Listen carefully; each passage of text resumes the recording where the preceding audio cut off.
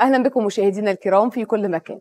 رغم غياب المنتخب المصري عن المشاركة في بطولة كأس العالم في قطر 2022 لكن اسم مصر حاضر وبقوة في مباريات وأيضا في كل الملاعب ده من خلال كرة القدم اللي تم تنفيذها خصيصا للبطولة. تم صناعتها في مصر بأيادي وعقول مصرية لتشهد ملاعب البطولة كلها حضورا مصريا من طراز فريد. بتتميز بالعديد من المواصفات غير المسبوقة في عالم كرة القدم. طبعا كونها مصنوعة من المواد الصديقة للبيئة والتي تتماشى مع رؤية مصر في التحول الأخضر. مزيد من التفاصيل هيوضحها إلينا الأستاذ هشام السيد العضو المنتدب للشركة المصنعة للكرة Forward Egypt تحياتي لحضرتك يا أستاذ هشام وأهلا بيك معانا.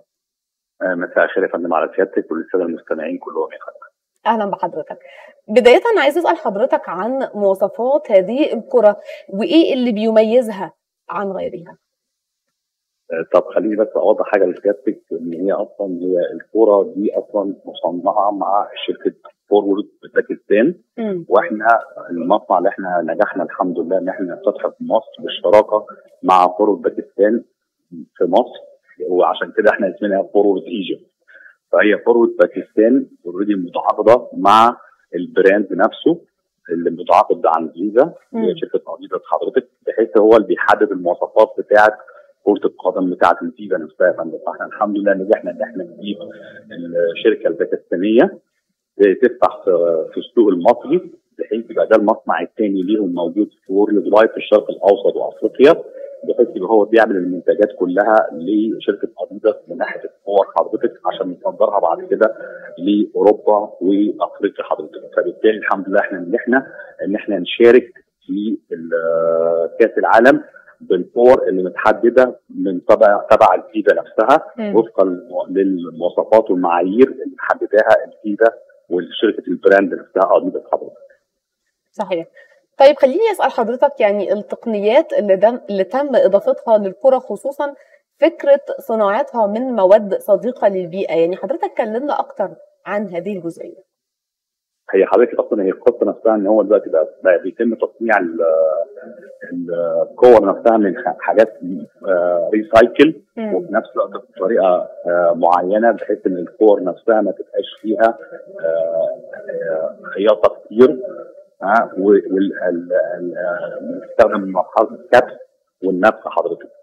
فبالتالي هي أصلا الحاجات ال material نفسها ال raw material جزء منها مستخدم بنعمله من مصر وجزء لسه ما زلنا بنستورده من بره بس إن شاء الله خلال سنتين هيبقى كل الايه ال raw material موجودة في مصر بإذن الله تعالى. حضرتك قلت لي إن ده بالتعاون مع شركة أديداس صح كده؟